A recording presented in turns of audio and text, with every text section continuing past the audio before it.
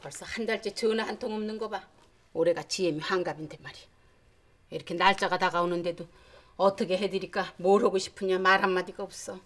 되지 못한 것들. 아휴, 딸은 딸대로 잘난 집에 시집 가가지고 식모나 다름없이 살지.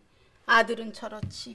내가 정말 어, 분단장은 곱게 하면서 왜 말은 곱게 못하니?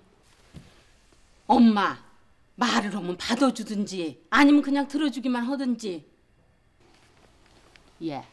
왜 그 낮에 아키 와서 조랑떡국 한 그릇씩 조용히 먹고 가는 사람 있지 않느냐? 각종의 그 영감은 왜요? 너한테 관심 있는 것 같더라. 에?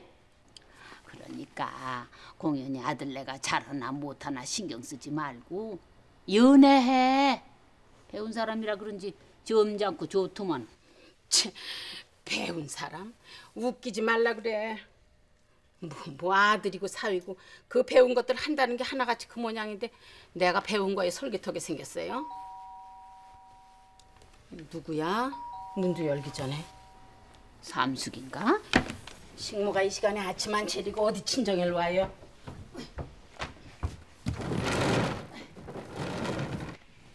누구세요? 저예요. 아니 너희들이 안녕하셨어요, 어머님. 별일 없으시죠?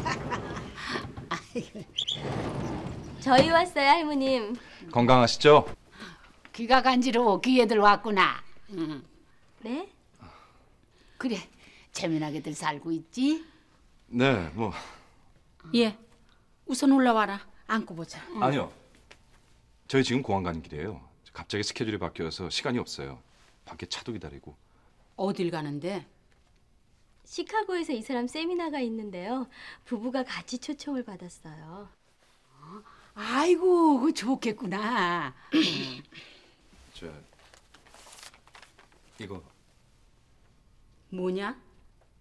어머님 생신 지난 다음에 오거든요. 아, 받아라. 환갑이시라 특별하게 해드려야 되는 줄 아는데요. 죄송해서 넉넉히 넣었어요. 그래 받으마. 왜 그러니 좋게 받지 않고서. 그래 넉넉히 넣었다니까 내 이걸로 저기 둥근 달 캐바레 통째로 빌려서 걸지게 한 판 놀아보마. 출세한 아들이 이렇게 금일봉만 달랑 하사하고 스튜디오 외국 갔다고 동네방네 자랑하면서 어? 아 왜 하사야? 어른한테 올렸으니 진상이지. 응? 아유 얘 얼른들 가거라 그래. 저, 그럼 다녀오겠습니다, 어머님. 도착한 대로 바로 전화 드릴게요. 이름 써 이것들아!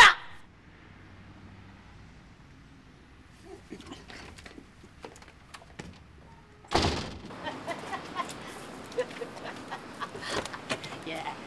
저 애미가 노상 그저 너 키울 때 공들인 것만 생각하니 저런다.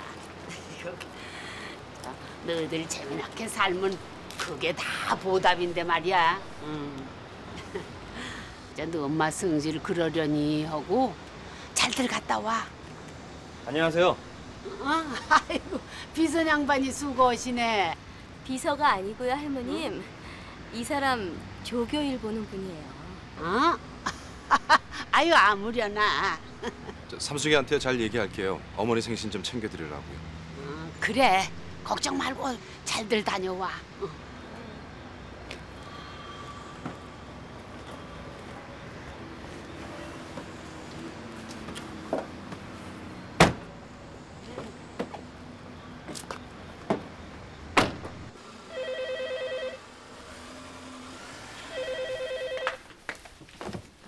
예 도화식당입니다. 예 아침 돼요. 예 가정식 백반이랑 조랑떡국 만두국 뭐 여러 가지 있어요. 예? 배달은 안 되는데 일주일에 한 통씩만 전화하면은 이렇게 많이는 안 넣어도 될 걸. 왜냐면요 음식 들고 가는 동안 맛이 없어질까 봐 그래요. 아니 기동을 못 하는 분이세요? 아, 아니요. 그렇진 않아요. 거기가 아파트 사이 골목에 있는 거 그거 맞죠? 예, 알겠습니다. 네. 아우, 아유, 배고파.